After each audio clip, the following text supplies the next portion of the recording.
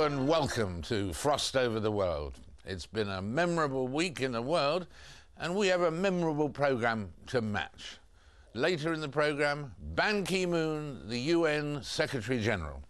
And wherever you're watching this programme, there's a sporting chance he'll be talking about your part of the world, among others. Then there's General Martin Luther Agwai. He's the force commander of the UNAU mission in Darfur. And there's rock superstar Bryan Adams, too.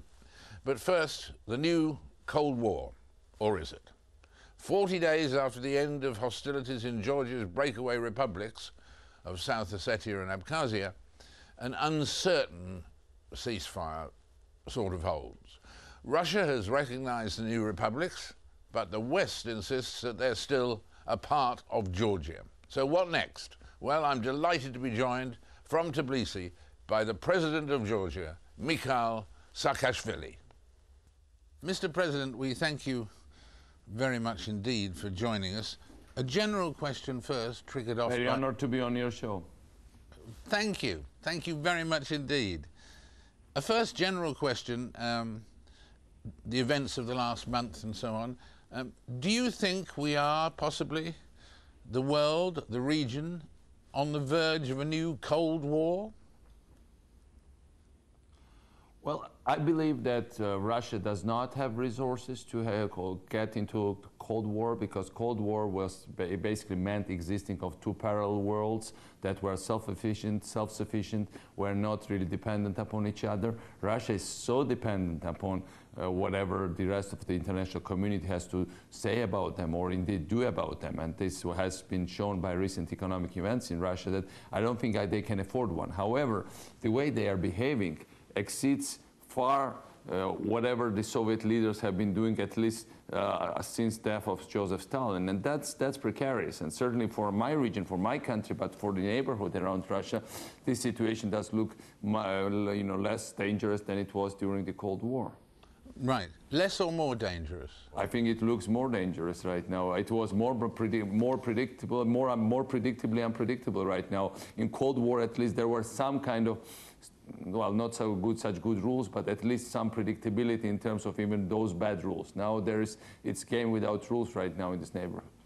And in terms of this neighborhood, um, do you think, do you still hold any hope after recent events that South Ossetia and Abkhazia may rejoin uh, Georgia in full? I'm sure, I'm totally convinced, but that's, that's, you know, what happened here is uh, what is happening in the making here is uh, such an obnoxious defiance of international law and order, such an unparalleled thing that I don't think that can anybody can get away with this in 21st century. This is a very irregular situation, very troublesome, but because it's so irregular and because it's so obnoxious, there is no way it can be, ever become sustainable. Of course, but this, I think this is just challenge not only to us, but I think it's challenge to the international community, to uh, the or to the international law. So I think uh, it's much wider than Georgia right now, and I think there will be, Uh, this will not be left as it is. I mean, nobody is going to yeah, recognize the status quo, and certainly I think we'll be working together with our partners to reverse it and to roll, roll it back. So. Uh, if, we, if you can change the current status quo, that will have to be, will that have to be done with words or will it have to be done militarily? Well, look what happened to the Russian market. The Russian market went to hell. I mean, the country's leaders are proclaiming that you know, their economy is fit, but their stock, stock market is closed uh, for third day in a row. it is really collapse of economy. And you know, this, I think partly it's influenced by world market, but partly uh, the upheavals in world market. But this kind of catastrophe certainly is the direct result of aggression into Georgia and uh, the irregularity that it has created. it's not, I'm not, don't, we don't take credit for it in entirety, but the irregularity, the, the violation of rules and uh, you know, sense of insecurity it has created has been tremendous. And what I mean is that they, of course, that these are, does it, was it caused by words? I think it was complex factors. It's about economy, it's about Russia's role in the world, it's about international law applied, it's about consequences because Russia has violated law to the extent where Anybody else that had done it in the past has faced severe consequences. So what form it will take, it's too early to say. I mean, there are already the results, the repercussions are all there, and I think it's only the start of what might happen. And in terms of what might what might happen next and so on, um, they would have to unrecognize uh, South Ossetia and Abkhazia, wouldn't they, in order to bring peace between your two they, countries? They will have to regularize, regularize situation. They will have, will have to bring situation back to regular, to uh, you know, legal framework. And of course, that also involves that Russia should become much more normalist in its behavior and not act like an insecure, isolated, authoritarian rogue government. And so that's exactly what is the, you know, the perception right now for many people that are interacting with Russia.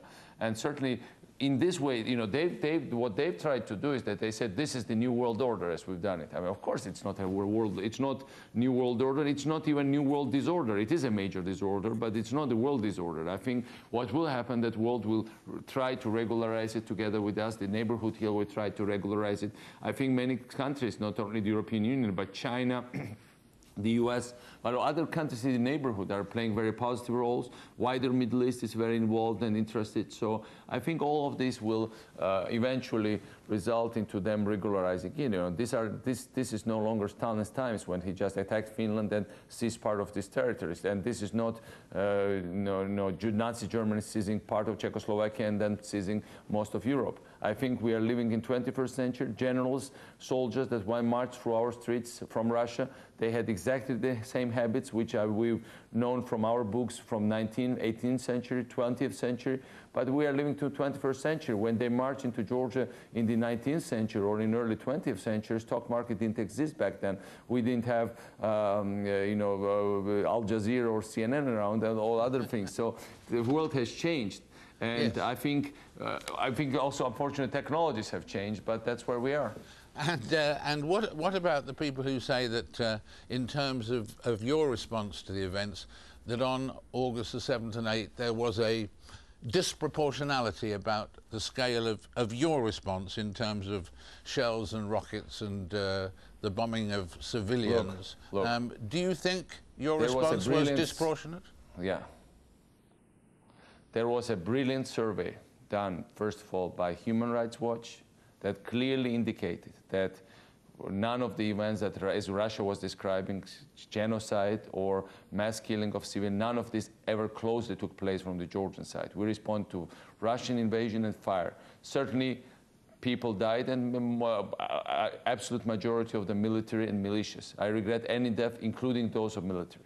However, there was a very good journalistic inquiry done by New York Times a couple of days ago, which clearly proved, and there is an incontrovertible evidence, and it was then repeated by European newspapers, by Washington Post, and by the others, clearly showing, and today it was also on the world networks, that Russia has invaded large Georgia large scale first, and then Georgia responded. Now look, we and Russia have historic, natural beautiful border. These are Caucasian mountains.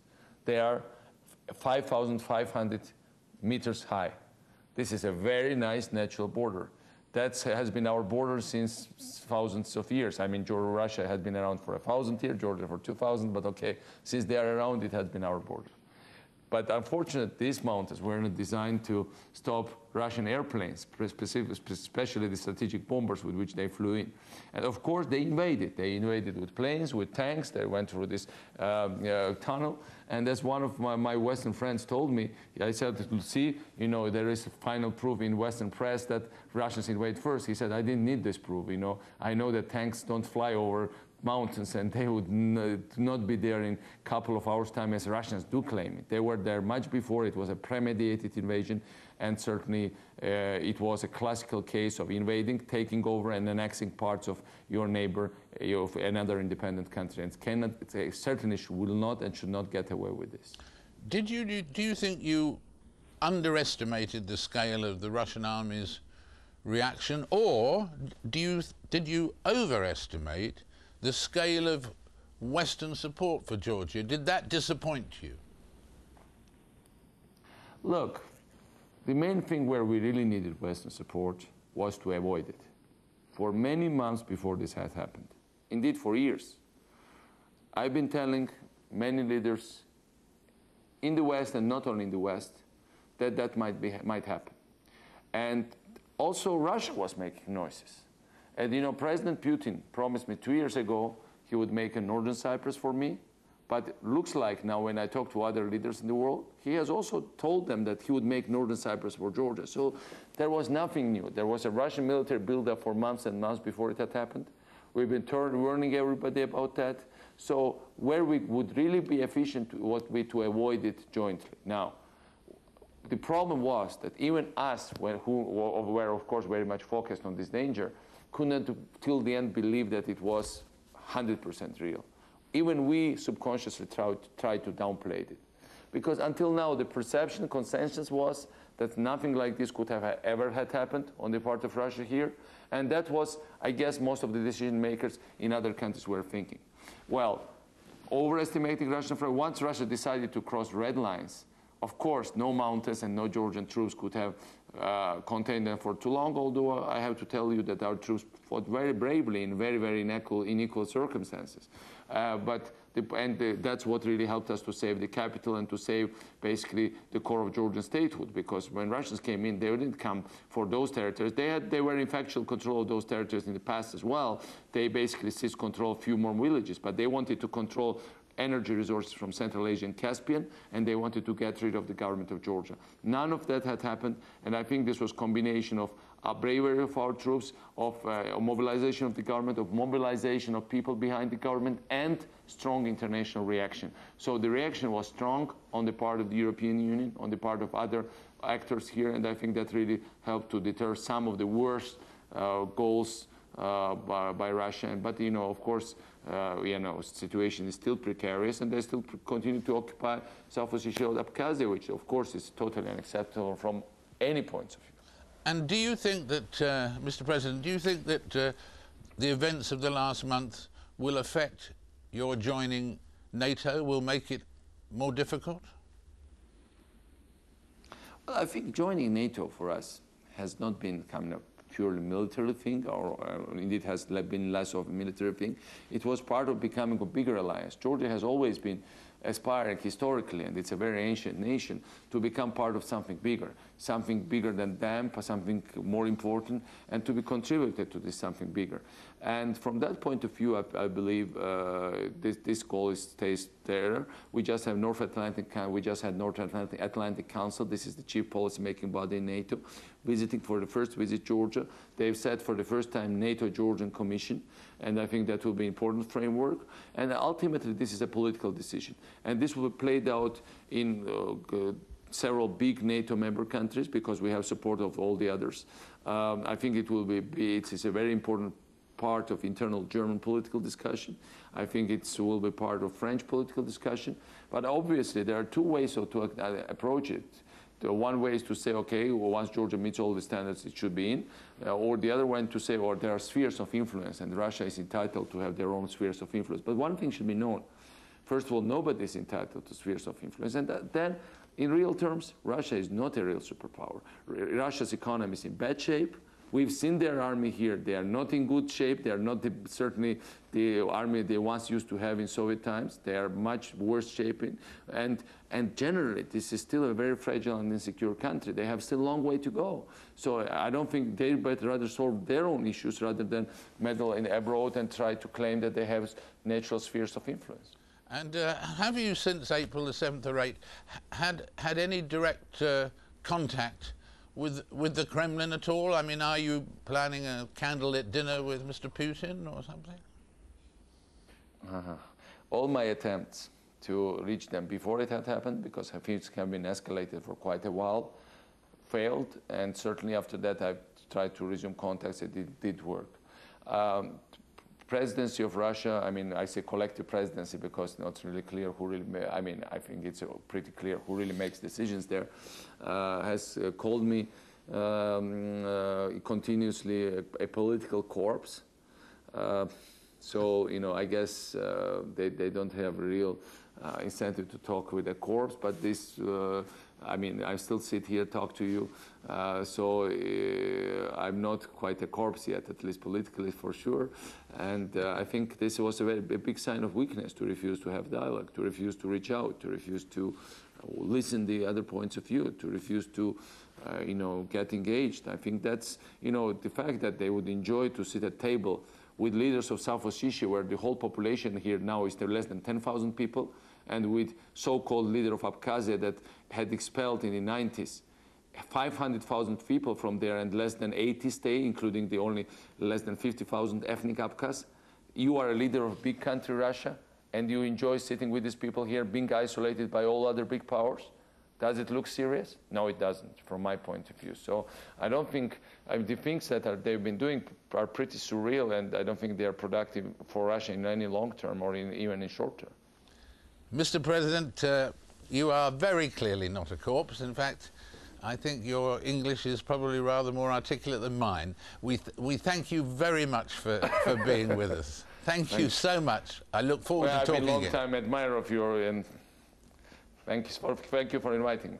That's an honor. Thank you very much indeed. Godspeed. Later on, the Secretary General of the UN, but after the break, General Martin Luther Agwai. He's the force commander of the UN African Union mission in Darfur. Join us then.